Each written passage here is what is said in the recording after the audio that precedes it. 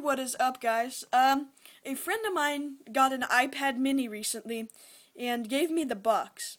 Now, Apple is so, um, thinks, uh, presentation is very key.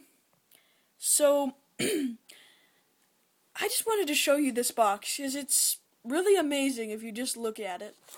So, it's very thin, uh, very very much thinner than the iPhone 4 box.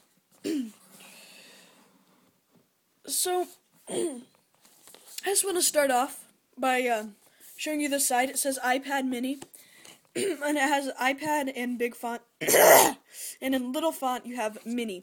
Yeah, uh, I just realized that. On the front, it shows you the white iPad with a front-facing camera. Hole right there.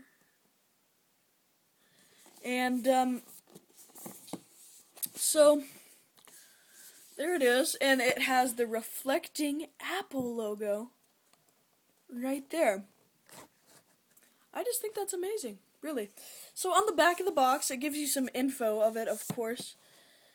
And iPad mini, Wi-Fi, 16 gigabyte, you know, and um so on the bottom it says includes iPad mini, lightning US to USB cable, power adapter, supports Wi-Fi, and then it has all that, uh, and Bluetooth 4.0 requirements Apple ID required for internet access. Then at the bottom it says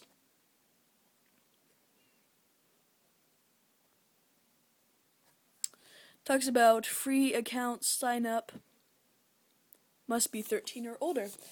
Now, it's just amazing how much they care about presentation. I mean, look at that. That this makes me want to buy it myself, you know?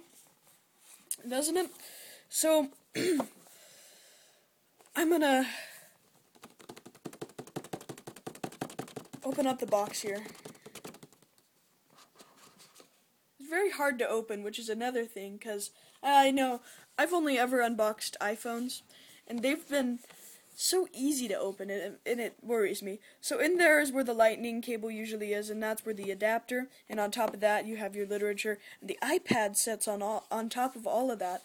And I mean it's just amazing how much they care about presentation. I love that Apple Apple loves that. I mean it's a great a great great great marketing thing and it makes people just want to buy it, you know?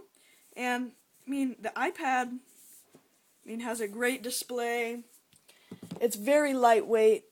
The iPad Mini, I'm sorry, um, has a great display. It's very lightweight, and you know it's really worth it. It's really worth it. It's three hundred and thirty dollars to buy the sixteen gigabyte black model. I mean, it is really worth it. I mean, I'm thinking about buying one myself, seeing the packaging, and um, so I hope you like this video. And uh, thank you for subscribing. And don't worry, that giveaway will be coming as soon as I hit 30 subscribers.